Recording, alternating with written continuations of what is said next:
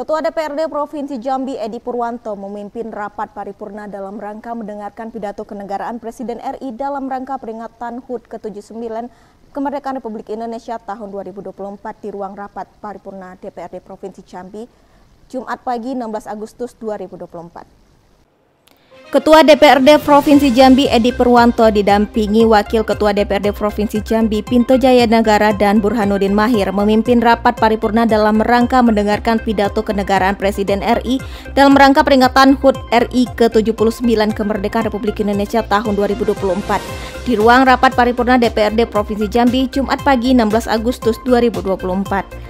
Rapat paripurna ini dihadiri sejumlah anggota DPRD Provinsi Jambi serta dihadiri Gubernur Jambi Al Haris, Wakil Gubernur Jambi Abdullah Sani, Kapolda Jambi Irjen Pol Rusdi Hartono, dan Ren 042 Garuda Putih Brigjen TNI Rahmat dan Kepala Kejaksaan Tinggi Jambi Hermon Dek Risto. Hadir pada kesempatan ini Kepala Pengadilan Tinggi Jambi Herdi Agusten, Kepala Pengadilan Tinggi Agama Jambi Abdul Hakim, Kabinda Jambi Brigjen Pol Irawan David Syah, Kepala BNN Provinsi Jambi Brigjen Pol Wisnu Handoko. Turut hadir sejumlah unsur Forkompinda di lingkup pemerintah Provinsi Jambi serta unsur vertikal yang ada di Provinsi Jambi. Selama dua periode atau 10 tahun, ia menyebut bahwa selama 10 tahun ini pemerintahan di bawah komandonya telah mampu membangun sebuah fondasi dan peradaban baru. Seperti apa? Ya, yang pertama tadi Bapak Presiden telah dua kali pidato, pidato pertanggungjawaban beliau sebagai Presiden, belum menceritakan tentang keberhasilannya, tetapi juga ada beberapa catatan penting yang menjadi perhatian bagi Presiden selanjutnya.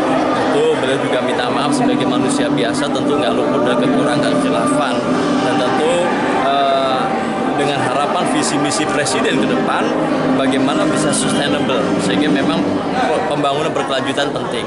Yang kedua tadi kita lihat potret APBN kita di 2024 kita hanya 3 triliun 325 mohon maaf 3.325,1 triliun. Nah sekarang sudah ada 3.500 triliun.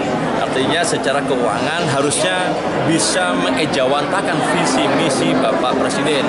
Bagaimana Bapak Presiden terpilih dia punya visi misi eh, makan siang gratis atau apa namanya makan nasihat gratis. Tentu janji-janji politik ini bagaimana bisa dipenuhi sehingga kontrak politik antara rakyat dengan pimpinnya ini bisa uh, sesuai dengan harapan rakyat seperti itu.